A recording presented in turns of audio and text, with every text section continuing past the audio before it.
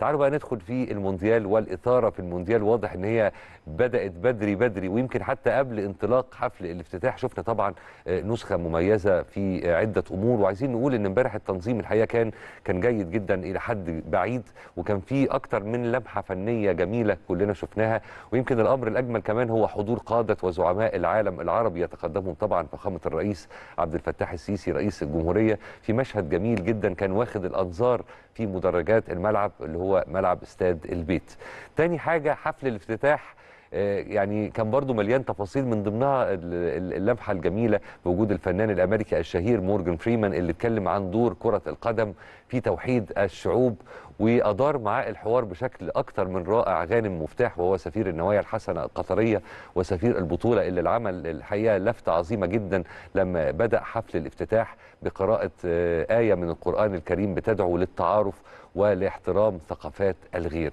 أمر إيجابي كمان في حفل الافتتاح والتنظيم كان في ال- ال mix اللي تابعناه أو ال medley اللي اتعمل بين أغاني المونديال يعني شفنا مثلا أغنية ريكي مارتن في حفل افتتاح نسخة 98 وأغنية شاكيرا في حفل 2006 و2010 و2014 والحقيقة ما فيش شك إن شاكيرا ارتبطت كأيقونة آه، بالمونديال من خلال إحيائها لحفل الافتتاح في أكثر من نسخة منه.